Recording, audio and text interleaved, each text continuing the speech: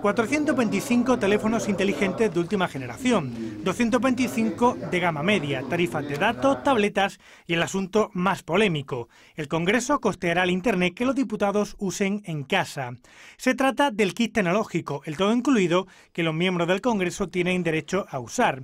Algunos ciudadanos ven a los políticos como unos privilegiados y, sin embargo, el diputado del PP, Antonio Gutiérrez, asegura que no es así, que deben estar permanentemente conectados a Internet y que la DSL en casa, costeado por el Congreso, es algo común en otros países.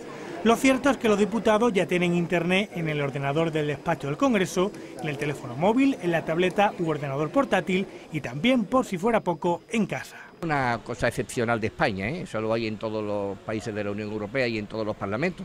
Yo creo que el diputado tiene que estar conectado eh, para uso de trabajo en, su domicilio y en cualquier sitio, porque el diputado pesa toda la, el diputado y el senador y los parlamentarios. Gutiérrez asegura que como diputado no es un privilegiado porque tiene su puesto asegurado como funcionario, como médico. Sin embargo, se admite que puede haber descontento ciudadano por los sueldos que perciben.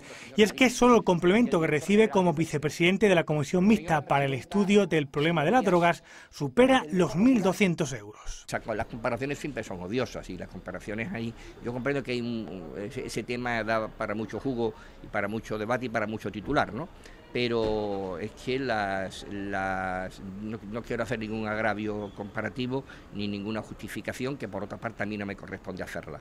Yo lo que creo es que lo que hay que hacer es eh, ser eh, optimizar la gestión que haga el diputado. Pero ¿qué opinan los melienses de este asunto? ¿Les parece bien que el Congreso coste el Internet de la Casa de los Diputados con los sueldos que perciben? Oh, muy bien, maravilla, como todo.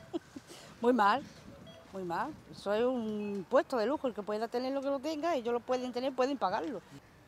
Pues está bien, ¿no? Está bien. Para ellos, ¿no? Sí, para ellos, para ellos muy bien. Pero para nosotros, un poquito, ¿no? Muy mal un poco, ¿no? Exactamente, ya le pagan todo lo que necesita para su trabajo y un poco más. Y me parece que eso se lo deberían de pagar ellos. Dan un sueldo mm, bastante bueno. Muy bien. Que le sobra para eso y para algunas cositas más que también le pagan, como la comida, por ejemplo. Eh, si se lo paga a los diputados y al resto de España, pues estaría bien, ¿no? Bueno, ahora mismo con lo que estamos viendo en los medios de comunicación, eso me parece como algo insignificante. Están robando mucho más que eso.